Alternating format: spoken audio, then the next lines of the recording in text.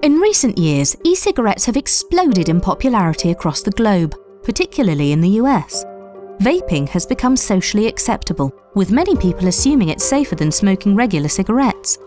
However, regulations have struggled to keep up and many questions remain around the potential harm of e cigarettes.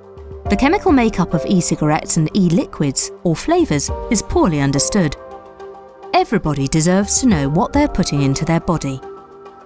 Using a method called gas chromatography mass spectrometry, we identified and quantified the chemicals in different e-liquids.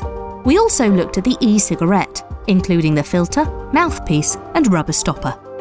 We tested three popular flavours, menthol, berry and nectar. All flavours contained chemicals that are either potentially harmful or are not well known enough to say whether they're harmful or not. For example, the menthol flavour contained cyclohexanol, which can be harmful when inhaled. However, the chemicals found in the e-cigarette itself were more concerning. The vape filter contained a large amount of a highly reactive chemical called benzyl chloride. Benzyl chloride is toxic when touched or inhaled. It irritates skin and eyes, and can even damage DNA. The mouthpiece rubber stopper and pod plastic also released potentially harmful chemicals. Hopefully, our work will raise awareness of the potential dangers of vaping. We need long term studies to discover the true health impacts of e cigarettes.